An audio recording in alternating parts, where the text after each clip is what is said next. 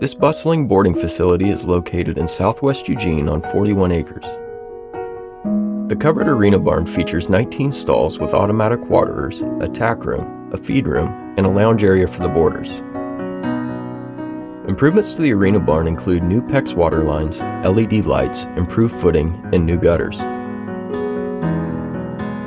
There are seven cross ties in the fully matted breezeway and a separate grooming stall.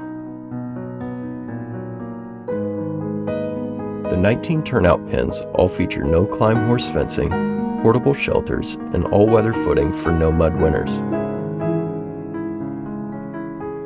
Extensive work was done to improve the drainage and usability in and around the barn. The grounds were graded and massive amounts of gravel were added.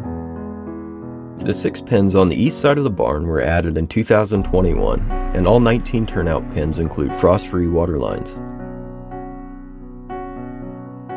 This solidly built home has a great floor plan with two master suites, with an open concept kitchen, dining, and living room. There's a back door entrance that leads to a mudroom with a laundry area and full bath. Relax on the back patio around the fire pit. Enjoy the tranquil sounds of the creek and views of the back pastures through the trees.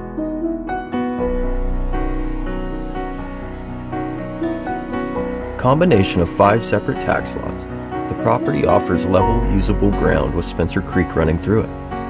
In the spring, you can till up the three-quarter mile jog track and set up a full court dressage ring, working equitation course, and a jump course for use through the fall. Additionally, there are three pastures on this back section for summer grazing and room for more. The eastern pasture has a nice woodlot perfect for creating a natural trail course. There are a variety of trees and wildlife to enjoy as you meander through the forest.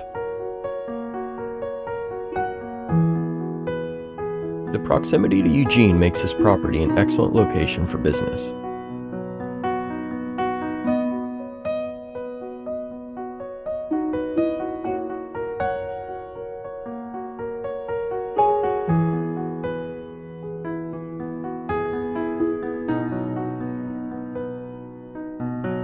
Currently, there are three United States Pony Club trainers on staff, and the barn is almost at capacity with boarders and lesson horses. This is an active boarding and lesson facility, ready for the next owner to love and care for it as the current owners do.